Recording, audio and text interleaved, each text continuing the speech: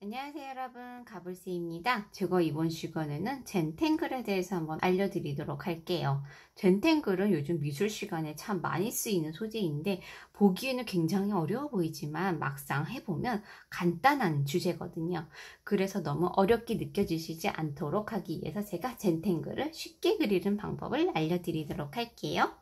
자 먼저 준비물은 지우개 연필 필요하시고요. 그 다음에는 펜이 필요해요. 까만색 사인펜 종류면 될 거고요. 어, 저는 요 플러스 펜이랑 요 사인펜 우리가 엄청 많이 본 재료죠. 구하기도 쉽고 가격적인 면에서도 굉장히 저렴하기 때문에 아마 편하게 구하실 수 있을 거예요. 물론 더 비싼 재료도 있지만 그거를 우리가 구하기가 어렵기 때문에 어, 우리가 주변에서 금방 찾을 수 있는 재료로 준비해 주시는데 자, 이렇게 플러스 펜 같은 경우 얇은 겁니다. 그리고 이렇게 사인펜은 좀 두꺼운 델 칠할 때 쓰기 위해서 이렇게 준비를 해 주시면 됩니다. 자, 이제 젠탱글을 그려볼게요. 먼저 우리가 큰 형태가 필요해요. 큰 형태는 내가 좋아하는 모양으로 그리시면 돼요. 저는 이런 하트를 한번 그려보도록 할게요. 자 형태를 그릴 때 연필을 꼭 쓰시면 좋겠어요. 왜냐하면 처음부터 사인펜을 쓰잖아요. 틀렸을 경우에 종이를 바꿔야 되는 경우가 생긴답니다. 자 이렇게 먼저 형태를 연필로 그린 다음에 괜찮네. 그러면 이제 굵은 사인펜 이보다 더 굵은 것도 다 괜찮습니다. 이 사인펜으로 이 연필 형태 위에서 이렇게 따라 그리는 거예요. 조금 달라져도 아주 상관이 없어요 이렇게.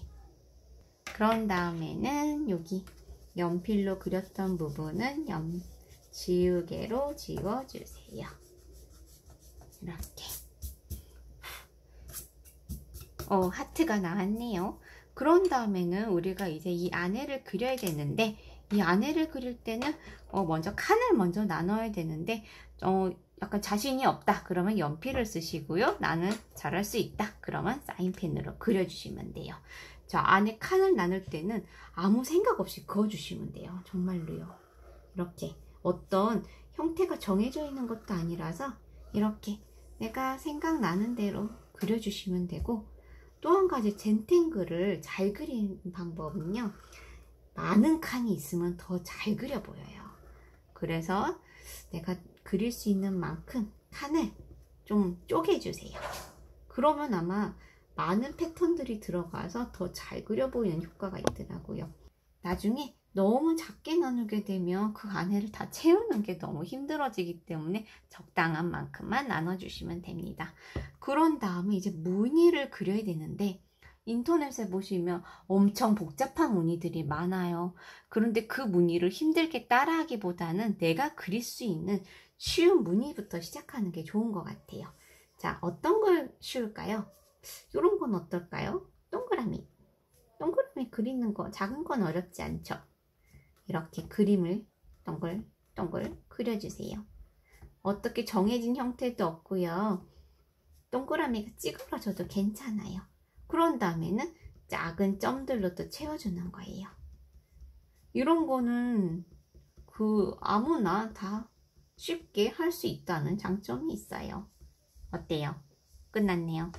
그런 다음에 또 어떤 문이 좋으실까요? 저는 별표도 좋아해요. 별을 그려볼게요. 별도 채워보고요. 음, 그런 다음에 여기는 뭘 해볼까요? 저는 체크 무늬도 참 좋아해요. 체크 무늬도 한번 그려볼게요. 이렇게 이렇게 그런 다음에 가로로 이것도 마찬가지로 어떤 칸을 정확하게 자를 내고 나눌 필요가 없습니다. 이렇게 그려주시고 그 다음에는 자 조금 두꺼운 펜으로 이 안을 색을 칠해주는 거예요. 이렇게 건너 칸을 하나씩 칠해주시면 오 뭔가 체스판 같은 무늬가 나타나죠. 이렇게 꼼꼼하게 채워줍니다. 물론 이 채워주는 펜도 여러 가지 쓰셔도 돼요. 얇은 게 좋으신 분들은 얇은 거 쓰셔도 되고 두꺼운 게 좋으신 분들은 두꺼운 거 쓰셔도 됩니다. 이렇게 체크 무늬도 그려주었어요. 그런 다음에는 어떤 무늬가 또 있을 수 있을까요? 자, 여러분들 어떤 식물 좋아하세요? 저는 나뭇잎을 좋아하는데 이런 건 어떨까요? 자, 이렇게 이렇게 한번 나무 잎을 그릴 건데 이런 건 나뭇잎을 그릴 거예요. 나뭇잎을 채워줄게요. 이런 어떤 아카시아 나뭇잎 같기도 하고요. 정해져 있는 식물이 없어요. 그냥 제가 그리고 싶은 모양을 그냥 그리면 됩니다. 간단하죠? 또 정해진 형태가 없으니까 젠탱글이라는 거는 참 그리면서 마음이 편해지는 것 같아요. 어떤 거를 따라 그릴 필요가 없잖아요. 이런 식으로 그려줍니다. 이렇게 나뭇잎도 한번 그려보았어요. 그 다음에는 어떤 거를 한번 그려볼까요? 어, 여기다가 제가 그래도 많이 그리는 무늬를 알려드릴게요. 이렇게 무지개라고 해야 될까요? 파도라고 해야 될까요? 라면이라고 해야 될까요? 저는 이렇게 모양이 반복되는 동글동글한 형태를 참 좋아해요. 이 무늬는 젠탱글에서 참 많이 쓰는 것 같아요. 이렇게 어떤 규칙은 없고요. 하나, 둘, 셋, 하나, 둘, 셋, 하나, 둘, 셋 이렇게 무늬를 계속 반복해서 그려주는 겁니다.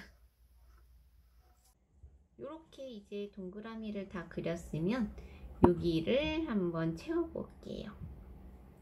까만 부분이 좀 많아지게 되면요. 그림에 풍부한 느낌이 들어서 좀 더 잘 그려 보이는 느낌이 들어요. 그래서 힘이 들더라도 이런 부분을 다 채워주시는 겁니다. 여기 채울 때도 이렇게 얇은 펜 쓰셔도 되고 아니야 나는 큰 펜으로 하겠어 하면은 큰 펜으로 한 번에 칠해 주셔도 돼요. 완성이 되었습니다. 아, 어때요? 이제 좀 꽉 찬 느낌이 나나요? 그런 다음에는 여기를 또 한번 채워보도록 할게요. 아, 이거 너무 그리기 힘들었으니까 눈이 빙글빙글 도네요. 그래서 저는 빙글빙글 모양으로 한번 여기를 채워보려고 해요. 자, 달팽이 모양 빙글르르 돌밀어서 그려주세요. 얘도 마찬가지로 간단한 모양이죠. 그리고 남은 부분에도 이렇게 점을 찍어 주셔도 돼요. 이렇게 이렇게 이렇게 그런 다음에 여기는 어떤 모양을 한번 그려볼까요? 음, 저는 하트니까 하트가 날아가는 모양을 한번 그려보도록 할게요. 이렇게 긴 하트가 슝 날아가는 모양으로 이렇게 그려볼게요.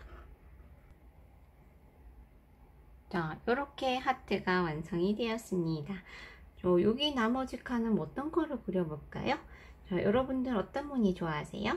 이번에 저는 음, 요런 뭐라 그럴까요? 선을 그려서 겹친 무늬를 한번 그려볼게요. 하나, 둘, 셋, 네 줄 긋고요. 또 그 다음 이렇게 네 줄 그으시고 이렇게 반복해서 그려주시고요. 그런 다음에는 방향을 바꿔서 이렇게 그려볼게요. 자, 여기랑 만나면 그리지 않고 넘어가고 이런 거는 약간 어려운 쪽에 속하기 때문에 어, 너무 어려워요. 그러면은 안 하셔도 괜찮습니다. 더 단순한 무늬물만 채우셔도 돼요. 이런 식으로 그려줄게요. 이렇게 없어지는 부분은 그냥 없어지게 만들어 주시면 되고 그 다음에 여기 줄이 아닌 부분은 이렇게 어두운 색으로 또 채워주시면 약간 공간감이 나면서 입체적으로 보이는 효과가 있어요. 이렇게 넓은 면 칠할 때는 조금 두꺼운 펜으로 칠하시는 게 보다 더 빠른 시간 안에 그릴 수 있어요.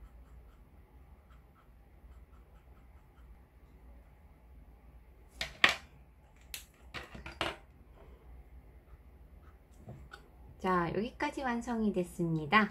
그런 다음에 이제 세 칸이 남았습니다. 여기는 어떤 거를 고려 볼까요? 음, 여러분들은 또 어떤 식물 좋아하세요? 저는 꽃을 좋아하기 때문에 꽃을 한번 그려 볼게요. 이렇게. 젠탱글을 채울 때 가장 중요한 거 너무 어려운 무늬를 선택하지 않는다입니다.